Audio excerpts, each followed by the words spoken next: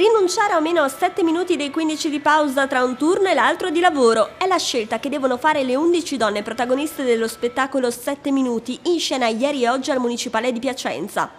Ispirato ad una storia vera, il testo di Stefano Massini, portato a teatro da Alessandro Gasman, parla di lavoro, donne e diritti. Oggi la compagnia di attrici, tra cui spicca Ottavia Piccolo, ha incontrato il pubblico piacentino al Teatro dei Filodrammatici sarà il personaggio di Bianca, interpretato proprio da Piccolo, a mettere in luce che quella che sembrerebbe una piccola concessione ai datori di lavoro, i 7 minuti di pausa in meno, se moltiplicata per le 200 operaie della fabbrica significa 600 ore lavorate in più e gratis ogni mese. Il Municipale è un teatro bellissimo e il pubblico era molto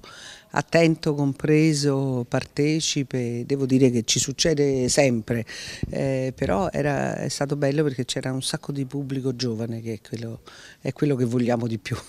Stiamo attraversando un momento in cui il lavoro è la cosa più importante da difendere o da conquistare, ma il testo di Massini mette in luce l'importanza della responsabilità individuale, ha spiegato Ottavia Piccolo. È un testo sulla responsabilità individuale e quindi è quello che ci, eh, ci dice che, dobbiamo, che, che, che spesso le, no, le, nostre cose dipendono da noi, dalle scelte che facciamo e non dobbiamo delegare agli altri. Quindi in, in questo è ancora più attuale se vogliamo perché è proprio quello che ci sta